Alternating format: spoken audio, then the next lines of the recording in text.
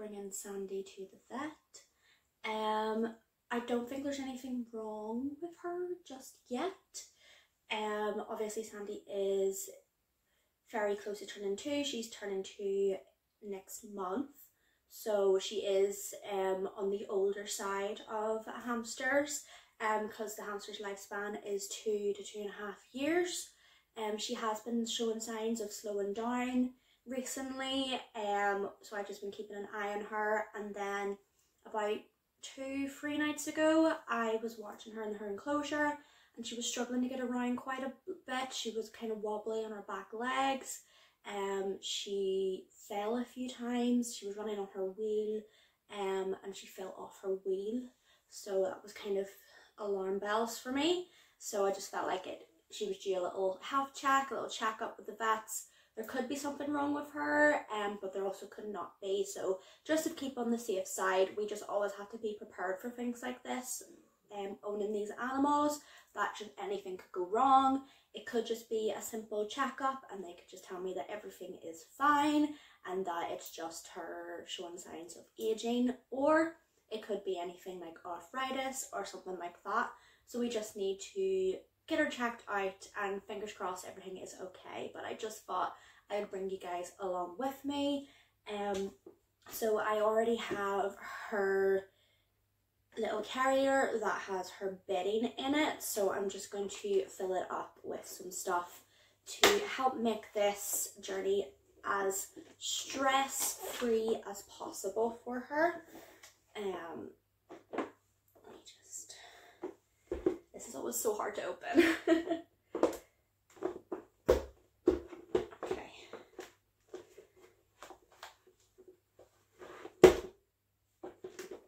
Okay, so this is just full of her bedding. So I'm just to pop some stuff inside of here just to make it less stressful for her.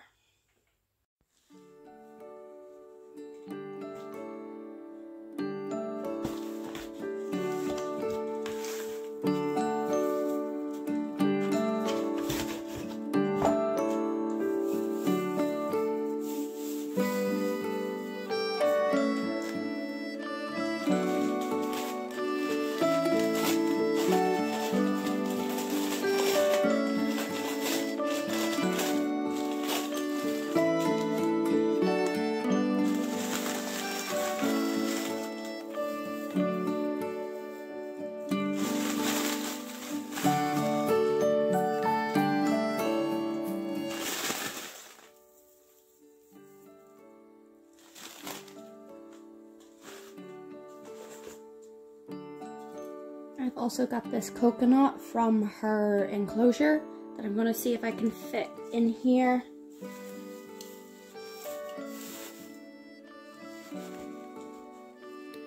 Just to give her something to hide in.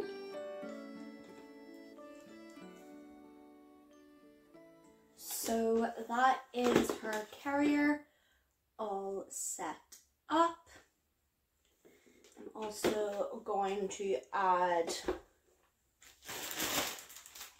some millet spray, something for her to chew on while she's in there.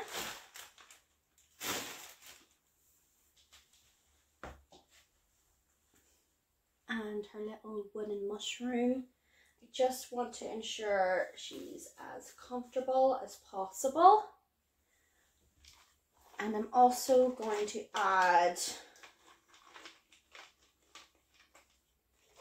some treats for her. Some little, we've got a walnut and a little monkey nut. Just gonna pop those in there. I'm also going to sprinkle in some of the Mediterranean treat mix from Pride Rock Blooms. This is one of Sandy's favourites. So I'm just going to sprinkle this in here.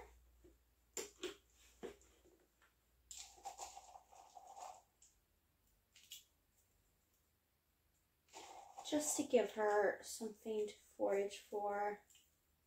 She might spend the whole time hidden away, but just to ensure that she has stuff to keep her entertained, Don't know how long we're going to be in the vet's waiting room for. So there we have it.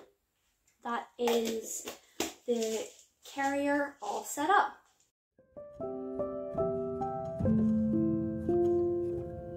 Now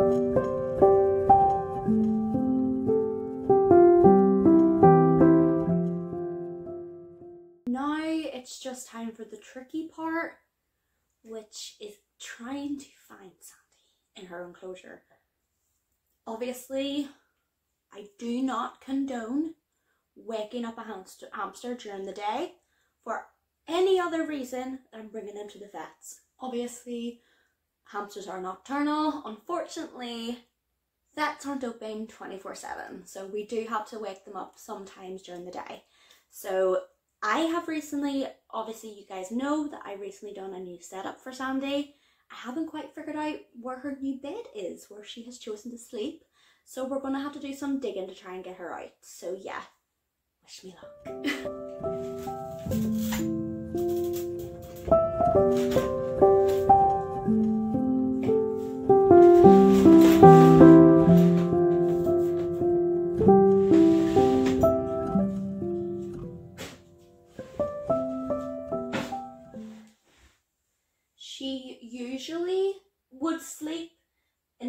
platform behind her wheel. So I'm going to remove the wheel and see if that helps me find her.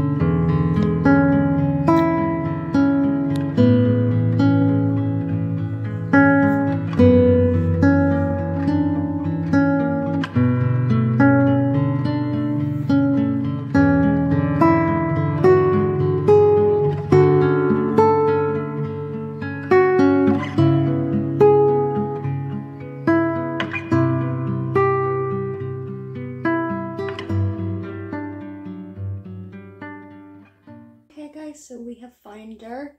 She's very, very sleepy, but we're going to pop her into her little carrier now.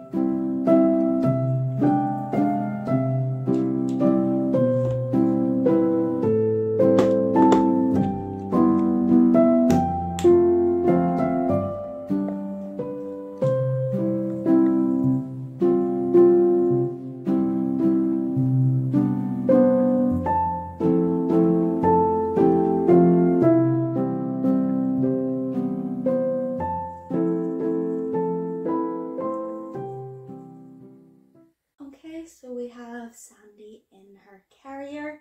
She's currently having a nibble on the nuts that I provided her, so that was a hit. Um, yeah, let's bring her to the vets.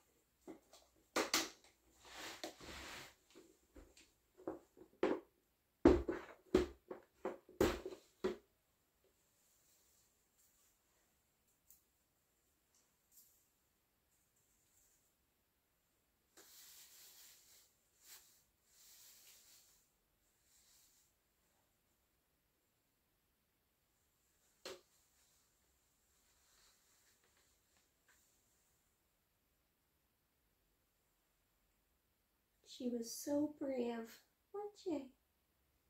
She's a very, very sleepy girl because hamsters are nocturnal and you shouldn't be waking your hamsters up during the day for any reason apart from getting them checked. So let's pop her back in. there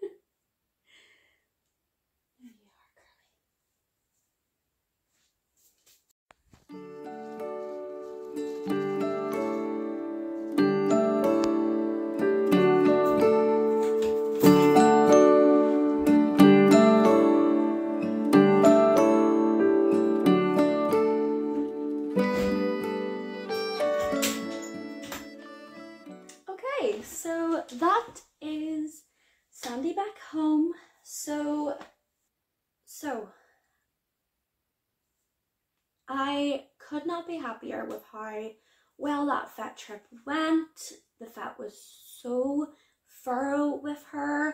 Took her out of her little carrier, made her walk up and down on the table.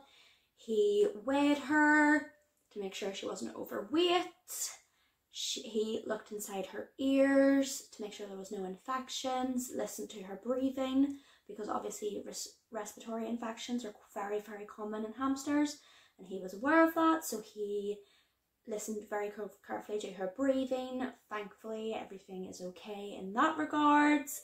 He checked her over for lumps, and thankfully, there is nothing of that going on. Um, he came to the conclusion that it looks like she might have early onset arthritis, which is not nice to hear, but also isn't the worst. Um, so it could have been a lot worse. Um, he gave me some anti-inflammatories um, and pain medication to give her. Um, so I need to give her medication now every night, which is going to be tricky because Sandy doesn't come out every night. So unfortunately, I am going to have to start digging her out to ensure she gets her pain meds. Um, but yeah, all in all, it was a very positive trip. I have the receipt here. So it cost me £32 and 50 pence altogether for that, for the consultation and the medication. So I'm very happy um, that my bank account wasn't stung too bad. Um, but yeah, so I'm happy to hear that Sandy is all good and she is, as I said at the beginning of this video, just getting older. So she does have early onset um, arthritis. It might not get worse. The medication, the medication could help her immensely and she could be back to her normal self again. So we just have to keep an eye on her. But yeah, I hope you guys enjoyed this little video. I thought it would be really good to take you guys along on the vet visit with me because I don't see a lot of vet related content when it comes to these small animals.